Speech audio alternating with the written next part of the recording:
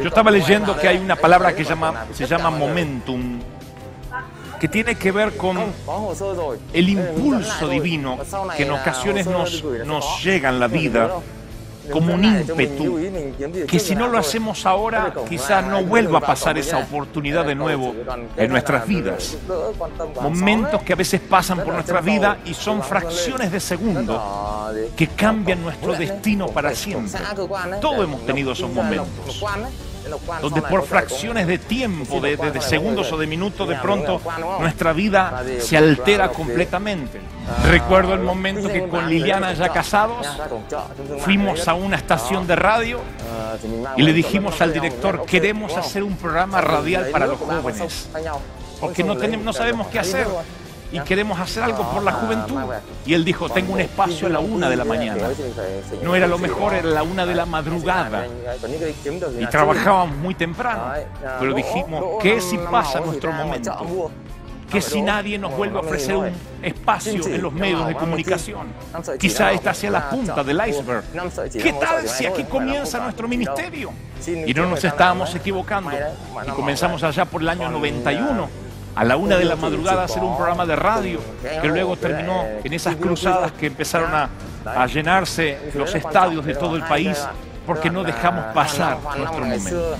Dos cosas que les quiero contar hoy. La primera, que aparte es una promesa de Dios, no es una esperanza. que por ahí a lo mejor, es una promesa. Dios trae favor para tu futuro. La Biblia narra que Ezequías en cierta ocasión estaba muy enfermo en lo que se presume era culebrilla actualmente. No había cura en el momento, se sentía que estaba a morir y llama a un profeta para que le ore. Y va a ocurrir algo extraordinario aquí en la Biblia, que mientras que lo leía el Espíritu Santo me decía, díselo a mi iglesia, porque va a empezar a ocurrir esta semana. Así que ahora sí, los que tengan Biblia, acompáñenme en Segunda de Reyes, capítulo 20, versículo 1. Oigan, en aquellos días Ezequías cayó enfermo de muerte, esto se los conté recién. Y vino el profeta y le dijo, así dice el Señor, Isaías, pon tu casa en orden, arregla la herencia, porque de cierto vas a morir y no vas a vivir. Entonces él volvió su rostro hacia la pared, Ezequías, el que estaba enfermo, y dijo, Señor, te ruego que te acuerdes de cómo yo anduve delante de ti en integridad, delante de tus ojos. Y Ezequías lloró amargamente. Claro, le dijeron que se iba a morir. Y aconteció que antes que Isaías hubiera salido de la casa, volvió la palabra del Señor y le dijo, dile a Ezequías, así dice el Señor, he escuchado tu oración, he visto tus lágrimas y aquí te sanaré. Vas a subir a la casa del Señor y te voy a añadir 15 años a tu vida. El Señor me ha dicho a la iglesia que les diga a ustedes que el favor de Dios que Él ha dado sobre ti en el presente es maravilloso. Pero lo que viene son años de añadidura, son años de bendición. Yo no puedo decirles cuánto va a durar. No puedo decirles esto va a durar dos años, tres años, cuatro años. Pero el Espíritu Santo me dijo, ¿lo pueden creer o no? Mientras que este tiempo de bendición esté, esté fluyendo, que no sé si pueden ser meses, años, décadas, el Señor me dijo, el favor mío estará sobre los hispanos de la Catedral de Cristal y va a alcanzar a las naciones y va a alcanzar a los continentes. ¿Cuántos creen en ese Dios? Díganme amén. Y aquí Dios nos añade bendición. ¿Por qué?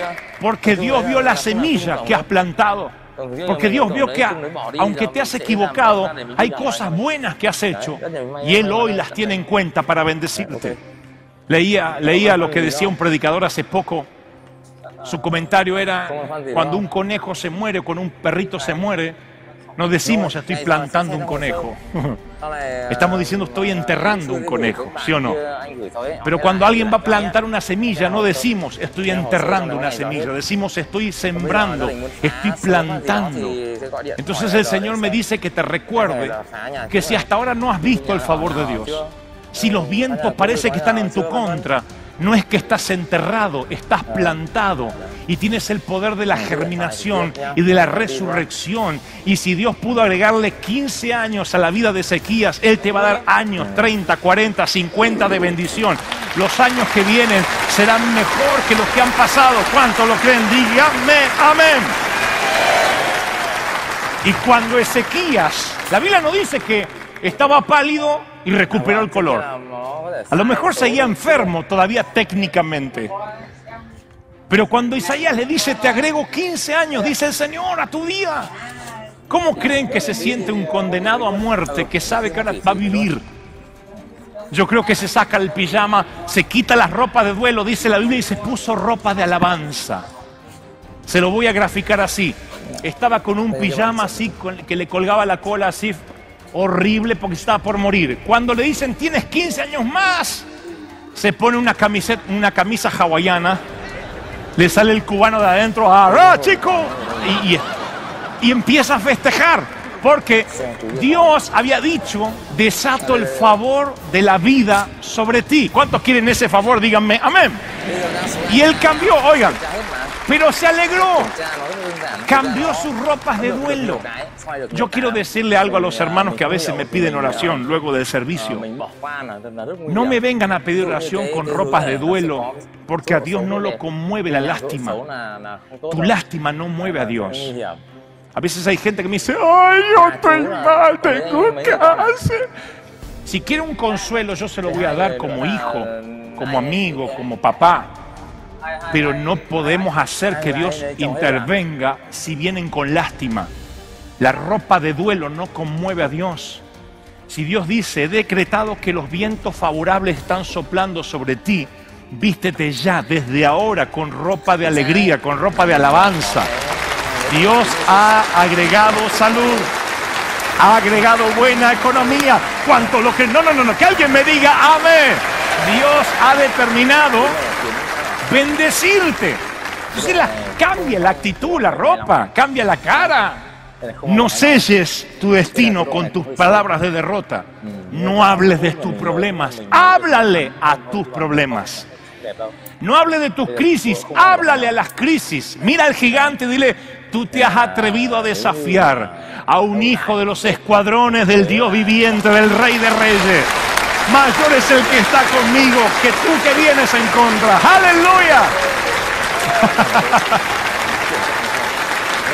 Entonces no hable de tu problema, háblale a tu problema, toma la actitud correcta porque hemos dicho al inicio de este mensaje, los vientos están cambiando. Y como el saltamontes, estamos esperando el momentum. Cuando el tiempo está cambiando, estás así. Tienes que pararte así, con la colita parada así y esperando. Cuando, cuando el viento cambia, tú estás dispuesto a subir al nuevo nivel. Eso es lo que ocurre. Yo estaba en crisis tremenda en mi adolescencia, apartado del camino del Señor. Pero tuve algo a favor. La gracia de Dios es indiscutible. Yo no pagué ningún precio en ese momento.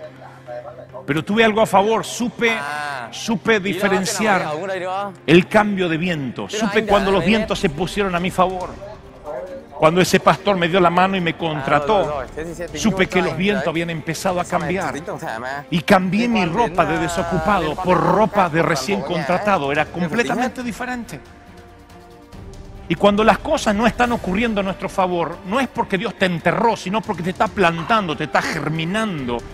Y cuando salgas, no solo vas a crecer fuerte, sino que te vas a multiplicar, porque una planta que crece tiene nuevas semillas. ¿Sí o no? Hay momentos en que todo se detiene en tu vida. Y tú dices, pastor, todo está detenido en mi vida, no pasa nada. Tengo una vida mediocre, de quieta, y estoy enterrado. Yo quiero que cambies tu manera de hablar. No selles tu destino con palabras de derrota. Yo quiero que cambies tu palabra y digas, yo estoy sembrado. Y un, un grano de trigo que no cae en la tierra y no muere no puede dar fruto. Dios te está preparando. En su momento Moisés mata a un egipcio y entonces se tiene que ocultar 40 años. Y él habrá pensado, estoy enterrado, arruiné mi futuro. ¿Qué voy a hacer? Arruiné mi destino. Pero no estaba enterrado, Dios estaba procesándolo. Él estaba germinando, él estaba plantado para Dios. Y cuando llegó el momento, Dios le dijo, Moisés, es el tiempo de florecer. Y él floreció y regresó con más vigor con más unción. La segunda parte de la vida de Moisés fue mucho más importante que la primera. Y Dios me dice que te diga que el resto de tu vida, lo que va a pasar a partir de este domingo a ti y los que están mirando por televisión va a ser la parte más importante de tu vida. El capítulo 2 de tu vida va a ser mucho mejor que todo lo que viviste hasta el día de hoy. ¿Están de acuerdo en eso? Díganme amén. Vas a florecer y vas a regresar. Oh, nosotros hemos con Liliana regresado muchas veces de esos sitios donde parecíamos enterrados. Y muchos decían, se terminó el ministerio de Dante, con esto se le acabó todo, fracasó. Y yo me sentía a veces que estaba como en una cueva, hasta que Dios me decía, es el tiempo de regresar. Muchos de ustedes van a regresar. Y el postrer estado, como dije el domingo pasado, será mejor que el primero la bendición va a ser mayor. Te va a pasar, es palabra profética, te va a pasar, pasa, ocurre. Aleluya. ¿Cuántos creen que los vientos han cambiado? Díganme amén. Y que vas a regresar. Prepárate. Prepárate para el regreso. Prepárate para volver con más unción. Prepárate para decir, vida, hasta ahora yo he existido, pero a partir de ahora voy a honrar la vida. Hasta ahora yo he sobrevivido, pero a partir de ahora voy a pelearme con el destino, palmo a palmo. Voy a pagar mi derecho a vivir, voy a honrar el estar vivo. Aleluya. Santo.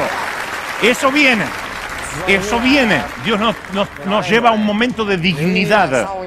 Y esta palabra que los vientos están soplando a favor, te están diciendo, yo traigo un favor de Dios para tu futuro, yo agrego bendición a tu vida. Esta palabra de agregarle 15 años a los años de Ezequías, hoy significan, yo te agrego bendición a tus días. Los mejores días están por venir. Las mejores semanas están ocurriendo. Mire, este año va a ser un año tremendo. Ahora, hay gente esta es la segunda palabra. Favor para tu futuro. Pero tengo una segunda palabra, favor para tu pasado. Hay gente acá que dice, pastor, yo, ahora que menciona todo eso, tengo alegría por lo que dice que va a venir. Pero yo perdí mi momento. Como el saltamontes estaba allí y el viento se me pasó y no pude migrar. Estuve parado en un sitio. Perdí al hombre de mi vida. Perdí un negocio que no me van a volver a ofrecer. Perdí mis hijos. Ahora son grandes, no me hablan. Los tuve chiquititos y no los aproveché por vivir trabajando. como digo siempre, me compré una casa y perdí el hogar. Les hablo a los que han sentido que han perdido sus mejores años y han perdido su momentum. Y sienten que están tan tristes, tan mal, porque dicen, está bien, está bien lo que viene, pero yo perdí mi juventud. Y no es lo mismo empezar una pareja ahora que haberla empezado a los 20 con bendición. No es lo mismo empezar un negocio a los 40 años que empezarlo a los 65. Y sentimos que la vida se nos escurrió en los dedos y hemos perdido, si bien, a ver, si bien vamos a tener bendición y favor para el futuro, sentimos que hemos perdido el favor para el pasado. Pero la Biblia dice que Ezequías cuando escucha que Dios le añade 15 años a su vida, no se conforma con que Dios le dé futuro. Dice, dame una prueba de que tú me vas a restituir los años que yo perdí por la enfermedad, por lo que sea. Y pasa algo loco en la Biblia. Dice que le dijo a Dios, no extiendas tu tiempo solamente, sino si, si tú eres un Dios poderoso, haz algo que solo tú puedes hacer. Que las agujas del reloj vayan para atrás. En los tiempos de la Biblia no había reloj. Había como una suerte de poste y si la, sombra iba como un reloj, iba adelantándose. Nunca la sombra podía ir para atrás, a menos que el sol cambiara su curso. y Ezequías pidió una locura. Fue la primer máquina del tiempo antes que la del DeLorean. Él pidió que el tiempo volviera para atrás. Dame una señal, que el tiempo vuelva para atrás. Ya tenía 15 años más de bendición. Pero él dijo, si tú eres el Dios poderoso, yo quiero que tú me bendigas para atrás, que gradúes el reloj de mi vida. Estaba diciendo que restaures los años que has perdido. Y la Biblia dice que el sol se volvió 10 grados para atrás. En los tiempos bíblicos eso son 40 minutos para atrás. Todo el mundo, todo el planeta vio que el sol estaba yendo así, se paró y volvió para atrás. Josué vivió algo similar. La Biblia dice que un día Josué ve que el sol empieza a caer y dice, si llega la noche, nuestros enemigos nos van a matar. Se van a aprovechar de la oscuridad y vamos a perder. Y oró a Dios y el sol se detuvo por casi un día entero. Oigan lo que yo, tal vez lo hayan leído porque está en internet. El señor Harold Hill, consejero del programa de la NASA, relata el siguiente suceso. Una de las cosas más asombrosas que Dios ha hecho entre nosotros sucedió con los científicos de la NASA en Maryland. Estaban verificando la posición del Sol y la Luna y los planetas para saber dónde se iban a encontrar dentro de 100 años y en los próximos mil años. Esto es indispensable para poder enviar satélites al espacio y que no choquen con algún planeta que ha entrado en órbita. Se debe proyectar la órbita en términos de la vida del satélite y saber la posición de los planetas para que no destruyan a, esos satélites. Así que se corrió una computadora para que corriera a través de los siglos y de repente se detuvo. La computadora dio una señal de alerta roja habiendo mostrado un error en la información. Decidieron llamar a la oficina de mantenimiento, vieron que la computadora estaba bien y el director de operaciones preguntó cuál era el problema y dijo, la computadora muestra que falta un día en el universo transcurrido de la historia. En toda la historia del universo falta un día. Empezaron a rascarse la cabeza y había un cristiano en la NASA que dijo, una vez escuché un pasaje bíblico que el sol se detuvo. Fueron a la Biblia, no le creían, le dijeron, muéstranos. Y ahí les muestra que Josué estaba preocupado por los enemigos, oró y el sol se detuvo y la luna se paró. Y el sol se paró en medio del cielo y no se apresuró, dice la Biblia, a ponerse casi casi un día entero. Y los ingenieros del programa espacial dijeron, ese es el día que falta. Verificaron la computadora, retrocedieron en el tiempo hasta la época descrita en la Biblia y descubrieron que se aproximaba más o menos el tiempo exacto. El tiempo que faltaba eran 23 horas y 20 minutos, no era un día completo. Y entonces el muchacho que era cristiano dice, pero acá dice casi un día completo, pero en la historia faltaban 40 minutos. Dice, todavía faltan 40 minutos. Parte del problema había sido solucionado, faltaban 40 minutos. Y si no aparecían esos 40 minutos, ocasionaba grandes discrepancias en los cálculos espaciales y en los cálculos satelitales. Así que fueron a la Biblia otra vez, al episodio que estamos leyendo hoy. Y descubrieron que Ezequías, cuando pide 15 años, cuando Dios le da 15 años más, dice, retrocede el tiempo para saber que tú eres Dios y Dios retrocedió 10 grados, 40 minutos, los que estaban faltando para el día entero en que le falta a la humanidad. 10 grados para atrás.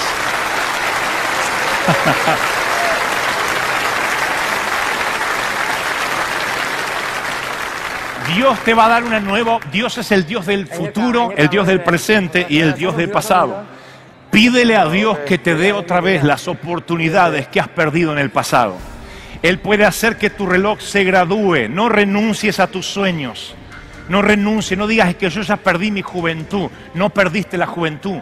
El Dios que le agrega años a Ezequías es el Dios que detiene el sol para Josué y es el Dios que retrocede el reloj para Ezequías y lo retrocede también para ti.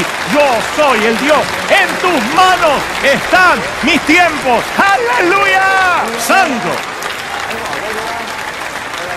¿Qué tenía Ezequías o Josué que no tenga yo?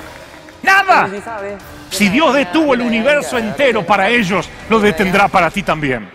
Él detiene el tiempo. Y aunque el reloj literalmente no se vaya para atrás, vas a ver que el momentum que has perdido vuelve a tu vida.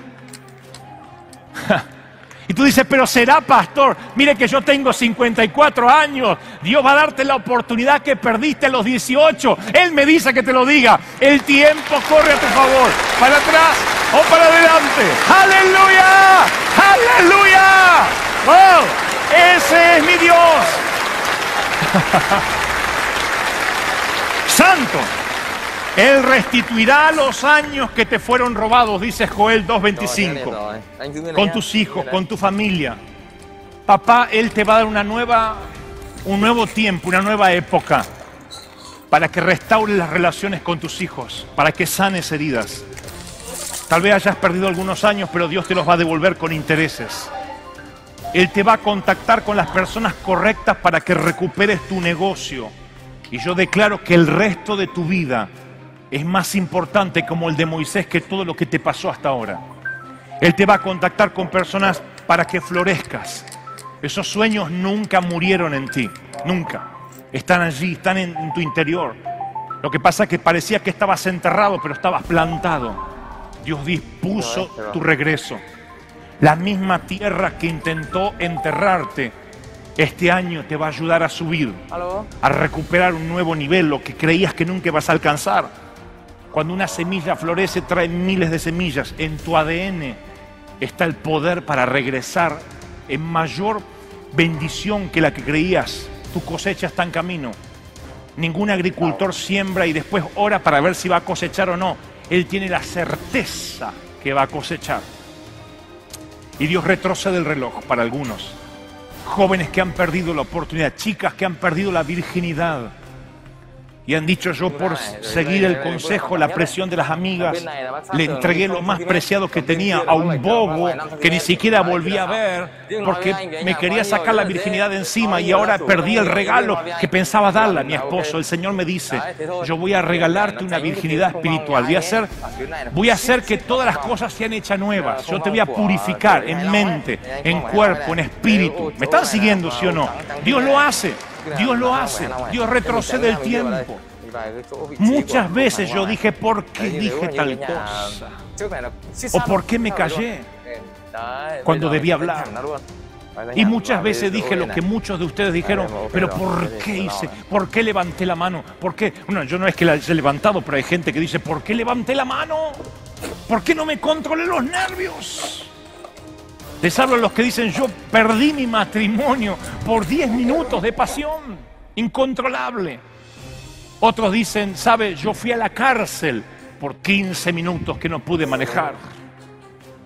¿Quién te va a regalar esos años? El Señor es el, que restituye los años perdidos. Y yo restituiré los años que comió el, revoltón, la langosta, el, saltón. Yo te voy a restituir todo lo que creías que estaba perdido. Ese es el Dios que predicamos. El Dios que hace que las eh, agujas del reloj vayan al revés si tiene que hacerlo. Y Él te da nuevas oportunidades. Él te dice, yo te voy a abrir nuevas oportunidades. Los vientos soplan a tu favor y esta vez no te lo pierdas. Esta vez no cometas la tontería que cometiste cuando eras joven. Yo voy a hacer que las cosas vayan mejor. Yo voy a estar en tu favor. Esa es la palabra que Dios me ha dicho que le diga a la iglesia. Aprovechenla, vívanla, bébanla. Vienen tiempos nuevos. Aleluya. ¿Cuántos creen que vienen esos tiempos? Díganme, amén. Yo perdí tiempo en los años de estudio por diversas razones, por tontería adolescente, por una doctrina errónea de que Cristo ya venía mañana y que no había que estudiar, etc. Y descubrí un Dios que me ha dado la oportunidad de remediar en mis hijos, en alentarlos para que se preparen, para que estudien, para que sean mucho más inteligentes y preparados y capacitados que yo. De alguna manera él hizo que las manecillas del reloj fueran para atrás. Y me regaló cuatro niños para darle la niñez que yo no pude tener. Él me dio una segunda oportunidad. Les hablo a los maridos que han engañado, a las esposas que han engañado. Y dice, yo cómo, cómo remedio esto. Yo no sé si tu pareja se va a volver a unir. Quizás tenían que tomar caminos diferentes. Pero sí Dios te va a dar una oportunidad a tus sentimientos, a tus afectos. Dios va a poner un hombre de verdad a tu lado, un hombre que te dignifique, que te cuide, que te exacerbe lo mejor que eres como mujer, que descubra entre ese carbón la esmeralda, la gema que el otro hombre no pudo descubrir. Dios va a darte un papá que no pudiste tener. Ese es el Dios que restaura, el Dios que restaura los años perdidos. Gente que ni siquiera tiene a Dios, ha perdido sus negocios, sus compañías, ha vuelto a empezar y le, ha ido bien. Steve Jobs, Donald Trump, han perdido sumas millonarias y han empezado de cero otra vez. Y yo digo, si ellos no teniendo a Dios solo tienen fe en que pueden hacerlo, les va bien, ¿cómo no nos va a ir bien a nosotros? ¿Cómo Dios no te va a restaurar? Miren, ¿cómo Dios no va a hacer las cosas nuevas otra vez? Les hablo a los que han pecado, los que se han equivocado feo con Dios. Dice, ¿qué pastor tiene para mí? Que yo me enojé con Dios, dejé de congregarme, dejé de diezmar, que vivo atado a, la pornografía, que tengo hábitos ocultos y tan feos que a veces digo un hijo de Dios, una hija de Dios, no puede tener los pensamientos que yo tengo. ¿Qué tiene para mí? El Señor me dice, mi misericordia es nueva. Para cada falla yo preparé una restitución. Tú no la quieres tomar. ¿Saben? Leí la historia de que un hombre llegó al cielo. Es una metáfora, claro, pero a mí me ha impactado como si hubiese sido real. Y había, él iba pasando por, mirando las calles de oro, las casas, las mansiones, y había una puerta cerrada y le dijo al ángel, ¿qué hay detrás de esa puerta? Y él dijo, no, no te interesa, no quieres ver lo que hay detrás. Y él dijo, pero la puerta tiene mi nombre, creo que merezco saber qué hay detrás de la puerta. Y él dice, sí, pero ya no tiene sentido que veas qué hay detrás de la puerta. Vamos, avanza hacia tu casa celestial, porque has sido un siervo fiel. Y él dice, pero no podré quiero quitarme la curiosidad. ¿Qué hay detrás de la puerta? Dice mi nombre. Y, y el ángel dijo, ok, solo por esta vez. Y le abre la puerta y eran un montón de estantes, como un warehouse gigante. Estantes y estantes con bendiciones, con bendiciones para él. Y dice, ¿qué son esas cajas? Bueno, dice, esa caja contenía la bendición financiera que yo tenía para tu negocio, pero tú nunca la pediste, nunca la creíste, ahí quedó almacenada. Ahí estaba la bendición para tus hijos, iban a ser ingenieros, doctores, abogados. Tan solo tenías que pedirlo, creer que los vientos estaban soplando a tu favor, pero no lo creíste y esas cajas quedaron aquí. Allí están los automóviles que pudiste haber tenido la casa tuya propia en vez de estar rentando. Ahí podías haberla tenido completamente paga, pero no la creíste, así que todas estas cosas se iban amontonando en tu depósito. Nadie las puede utilizar si tú no las utilizas. A mí me, la historia me llegó a lo más profundo del corazón. Yo entro a mi warehouse, a mi depósito todos los días, no sea que quede algo ahí. Yo quiero todo lo que Dios preparó para mí. Y estoy sintiendo el sonido de la lluvia. ¡Aleluya! Póngase de pie y aplauda al Señor del Señor. Diga, el sonido de la lluvia ha empezado. El sonido de la lluvia ha empezado. ¡Aleluya!